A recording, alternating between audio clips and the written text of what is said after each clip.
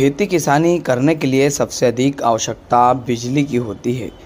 बिजली समय पर मिले तो किसान अपनी फ़सलों को भरपूर पानी दे पाते हैं, जिससे उनका उत्पादन भी अच्छा होता है, जिससे वह कमाई करते हैं। मध्य प्रदेश के बुरहानपुर ज़िले में किसानों के सिर पर संकट छाया हुआ है। यहाँ पर पिछले 25 दिनों से किसानों को बिजली नहीं मिल रही है, जिस कारण किसान परेशान हैं। अब उनकी फ़सलें भी तबाह हो रही हैं। किसानों की ओर ध्यान देने वाला कोई नहीं है, जिससे किसानों की चिंताएँ और बढ़ती जा रही है।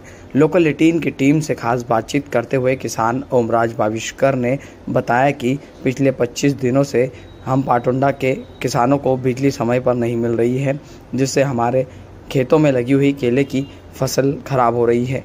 तापमान 40 से 45 डिग्री के बीच रह रहा है। ऐसे में पौधों को पानी नहीं मिलना हमारे लिए मुसीबत बनता जा रहा है। इस क्षेत्र में करीब 200 किसान हैं, जिन्होंने करीब 200 एकड़ में केले की फ़सल लगाई है। सभी किसानों के सामने एक बड़ी परेशानी बनकर खड़ी हो गई है, लेकिन जिम्मेदार अफसर कोई ध्यान नहीं दे रहे हैं।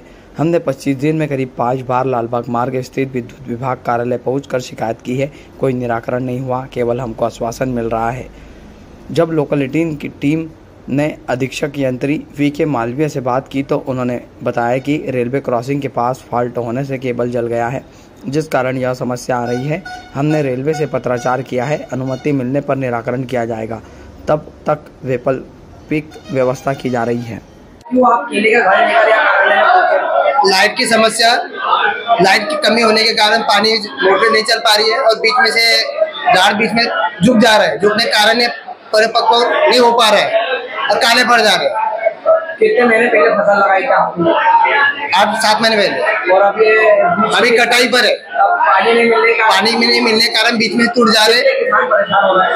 पूरा गाँव परेशान है पातोड़ा ग्राम पातोड़ा पूरा ही परेशान है। कितने का नुकसान होगा यदि पानी नहीं मिलता तो? कम से कम दो दो ढाई सौ करोड़ का नुकसान हो रहा है सभी का पूरे गाँव वालों का। कितने एकड़ में केला लगता होगा? हमारे यहाँ में दो सौ एकड़ में केले लगता है। क्या नाम आपका? कृष्णा महाजन। ये ग्राम पातुंडा का विषय है। लगभग आज 20-25 दिन से रेलवे की एक क्रॉसिंग के पास केबल का फॉल्ट है। पूर्व में भी हमने अधिकारियों को बार बार इसकी सूचना दी और हमें बार बार आश्वासन मिला।